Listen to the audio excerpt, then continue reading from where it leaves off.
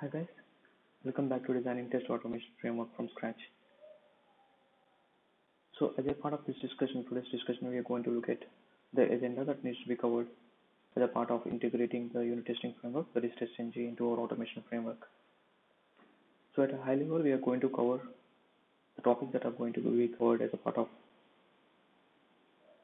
this particular discussion is as follows. You can see uh, it was like first we are going to cover some introduction to test TestNG and why it is used in the Selenium or any automation project and what are the various features that are available as a part of TestNG and why we are going for TestNG especially rather than JUnit or some other unit testing frameworks.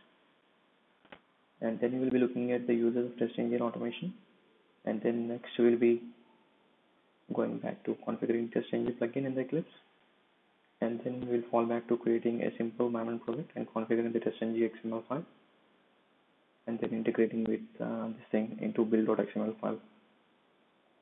So we look at how we are going to call the tests that are configured in the TestNG, uh, the test suite, that is the TestNG.xml, in the build.xml from build.xml. I mean the build file that is the pom.xml. The source file again will pick up the configured file that is the testng.xml file to execute the test available in the particular testng.xml file that is a source file.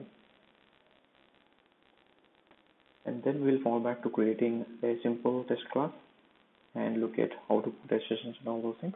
And then uh, we'll fall back to understanding what testng.xml file contains and how to design this file based on its grouping, how to exclude some uh, tests, how to include some tests, how to call the entire test suite, I mean using the package, using the class, etc.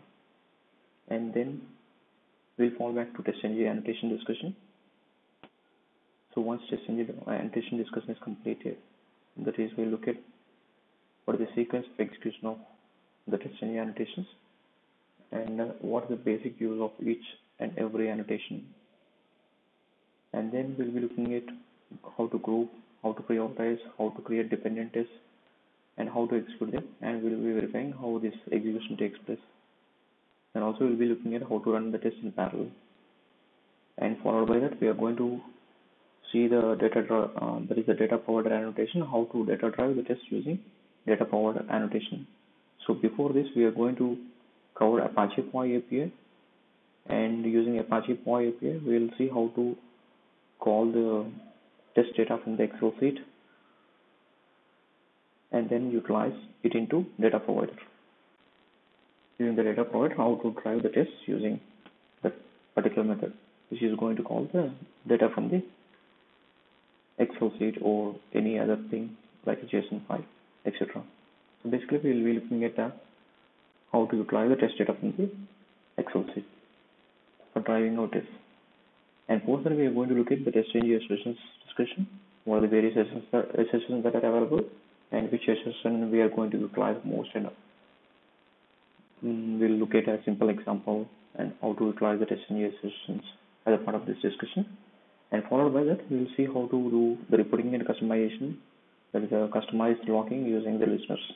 That uh, we are going to look at basically the TestNG listeners and how to customize those listeners for reporting and logging purpose. So this is the high level agenda that we are going to cover up. So if we see in detail, this is how it is. So first basically we'll be uh, looking at what are the types of tests that are available, like the integration test, unit test, and then the functional test or the end-to-end test. And then we are going to give a brief introduction to test TestNG and where we are going to, why we are going to use TestNG in Selenium and followed by the, features of test TestNG and configuring and integrating TestNG uh, with the supported tools like Maven, etc. And we'll see how to integrate TestNG in Eclipse. I mean the TestNG plugin into Eclipse. And then there is what the component that is supported tool is like Maven. So we'll be seeing how to integrate TestNG and Maven. And then after that, we'll see the steps to create a simple TestNG test. And following that, we are going to look at the overview of the TestNG XML file. That is a suite file, which is used to configure all the tests and what are the supported tags that are available by the part of uh, the suite.xml or the testng.xml file. And then we'll, as a part of that subdivision, we are going to see how the configure tests to be executed from testng.xml file. and then configuring the parameters, configuring groups, configuring uh, the dependencies, inclusion, exclusion of uh, certain tests, and configuring the listeners in the testng.xml file. And post that discussion, we are going to see the testng annotations and the order of execution or the sequence of execution of this annotation. Post that we will be configuring the test using testng.xml file. And then we are going to use the data testing that is using uh, data provider annotation and the Apache POI API. And then after that, we are going to look at the TestNG assertions as we discussed. We are going to see the basic assertions that are available as a part of TestNG and how to utilize them for uh, driving our unit tests. We'll see how uh, our assertions, uh, how to put these assertions on the particular test and execute and we'll be verifying how these assertions will be reporting. And then followed by that, we'll be looking at the logging and reporting mechanism. So this is basically what we are going to cover in a brief view. So thanks guys. This is the agenda that we are going to be covering up as a part of TestNG, unit testing framework. Unit testing framework. Thanks guys. Thanks for watching.